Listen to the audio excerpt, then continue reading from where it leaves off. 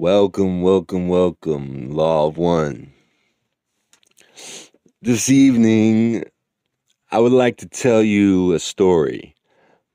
There was once a young man. He was faced with the burden of adulthood. All things lay before him, and he did not know what he should choose. But of one thing he was sure and that is that he wished to get that out of his life which he would feel was enough. For all his life, he had heard his parents say, We would like to do this or to have that, but we do not have enough time or we do not have enough money.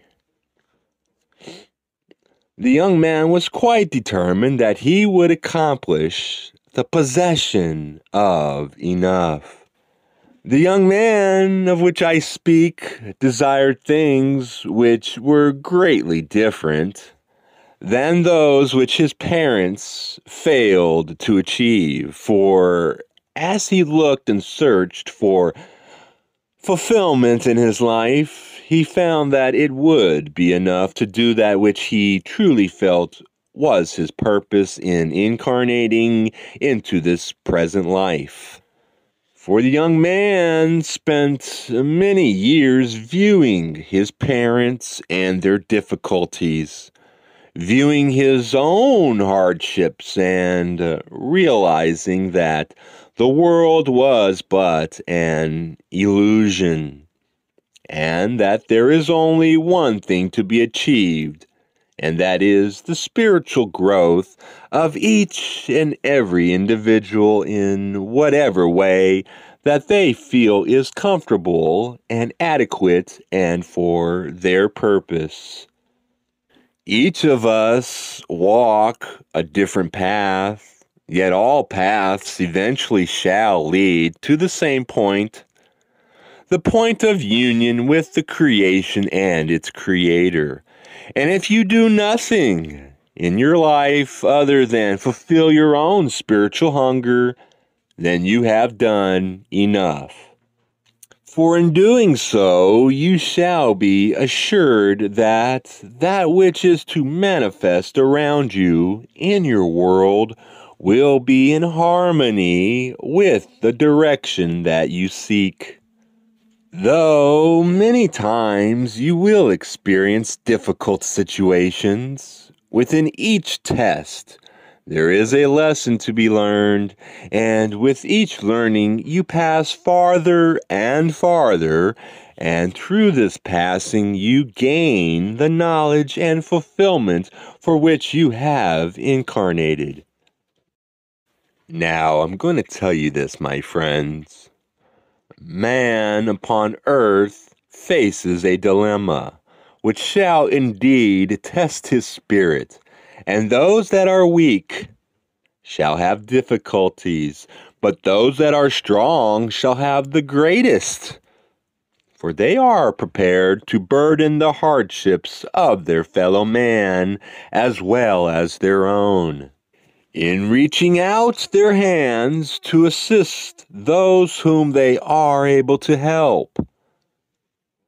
We urge that you seek within yourself the fulfillment of life and of spirit.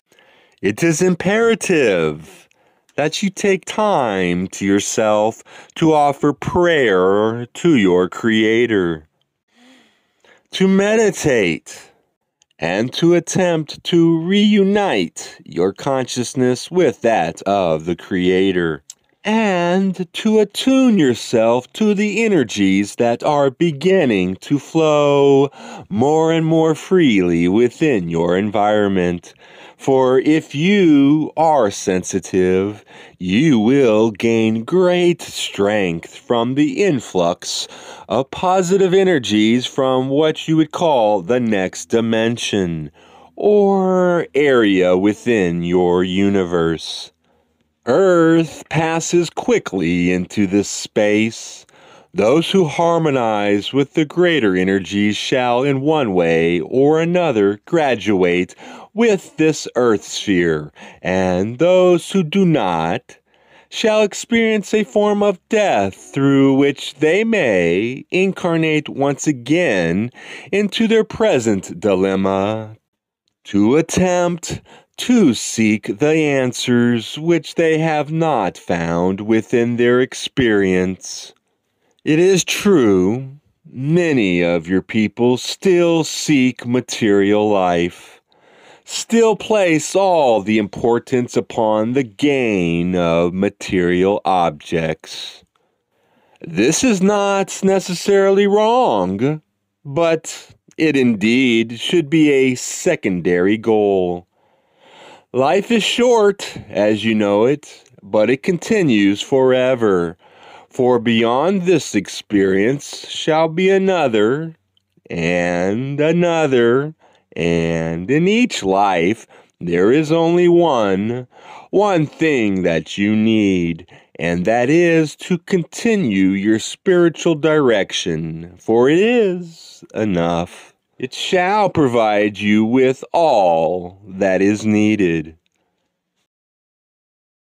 In the prayer which you prayed prior to this meditation, you made a request of an invisible presence or force. Give us today enough to eat. This prayer was taught to a small band of students by a good teacher, and it encompasses an accurate view of the relative importance of having enough. The seeking within the illusion for enough if it goes beyond that which is easily measured, will go awry and will cause great frustration. There will not be enough sooner or later, one way or another, within your illusion, depending upon how you have chosen to learn the lessons of love you will find what you consider to be shortages of power, money, influence, or love. In fact, all of these shortages are some distortion of love and may be viewed as opportunities to discover the true nature of love. If you do not have enough money you may find that your discomfort distracts you from seeking. But if you exercise another point of view, you may find that your lack of abundance has produced a simplicity that frees you to love. If you lack power, you may feel victimized. But you may also take this opportunity to practice the realization that that an entity or group of entities which victimizes you is in fact part of you. And together with you is the Creator, and is therefore infinitely lovable. Any distressing situation any shortage can be the opportunity you intended for yourself in order that you might balance within yourself some aspect of the nature of a unifying and powerful love. If you have the faith to examine situations, especially reoccurring situations or conditions which seem to say to you, I do not have enough, you may well find therein the key to your reason for personal study during this incarnational experience. You will not have discovered what it is you may do for those about you, but before you serve others, it is well to feel that you have a plentiful and bountiful selfhood, that you are standing upon solid ground within your own being, and that you are not faced with internal weaknesses which will make it impossible or improbable for you to be of service to others. The inner work, the work upon the self, is not selfish. For it is only the whole self that can serve the Creator it sees in others. What you see is a reflection of what you are. If you have not found enough, then you will continually view outer shortages. If within yourself you have discovered the wholeness of your being and the adequacy, indeed, the perfection of your consciousness, you will then find that same consciousness buried, however deeply, in the illusion about you. You may think to yourself that you cannot possibly find a whole and complete being within yourself it is certain that your culture does not encourage you to feel whole. However, through meditation and the discipline of analysis of your thoughts and your actions, you can find the keys that open the door to wholeness. This wholeness is another word for love. For love is that which is not broken or battered or in any way imperfect. Love indeed is creative and multiplies that wherein it dwells. Sometimes you may feel as if your situation were that of a certain crowd spoken of in your holy works, called the Bible a certain crowd gathered upon many hills, many thousands of people, and you have a few loaves of bread and a couple of fish, and you feel completely inadequate to nourish that which is about you, those who need you. You feel that you do not have the food, the nourishment, the love that is necessary. But this is the point. Such is the power of love as it flows through you from the infinite source which has created all that that which you have will be enough. You are enough and you have enough. And so our young man could grow old and die and never find enough unless the attention had been turned to the inner silence that beacons all who seek. An inner silence so filled with joy that those who have felt it recognize others by that one smile that says to the world, Yes, I have felt it too. I have known infinite bounty. I have felt the sunshine of a universe scattered carelessly, abundantly, and wastefully upon my upturned spirit. I have asked, I have received. Those who have received radiate that which they have received and give it again a hundredfold. And so, my friends, please do not think ill of your poverty, whether it be of power or of money or of the right words, or of enough love, or of the ability to deal with a situation correctly today. For a little while, you have left eternity and you are living in time. You brought infinity with you. You brought the infinite love that created you and is you with you. Claim it. It is your birthright.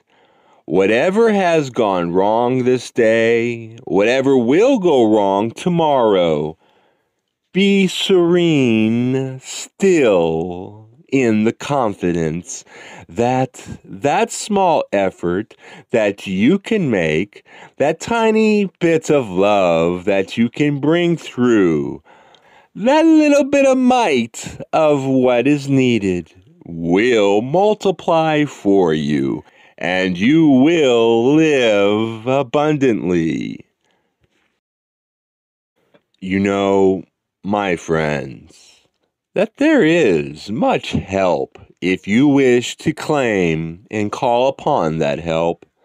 You are not and never have been alone in your experience. There are those who you would call angels who are with you at all times but especially upon request. There is your own self, of which you are only a part in this incarnation, sometimes called your higher self, which comes as you call it. There is the fullness, infinite and invisible power of love if you but call within yourself. There is the light of truth if you but ask. I hope to inspire you to seek the truth. Any thought which I may share with you could be spoken incorrectly or could be misunderstood by us. For I am not perfect. We are not perfect, but are merely your brothers and sisters. We wish mainly to encourage you to continue seeking love, uh, to continue then seeking to manifest that love in your very dark world. For such love burns like a light and lightens the fragile earth which binds you to this illusion. We rejoice with you that you have this opportunity to seek and to strive and to choose what you will do. We can see all the choices and much of truth.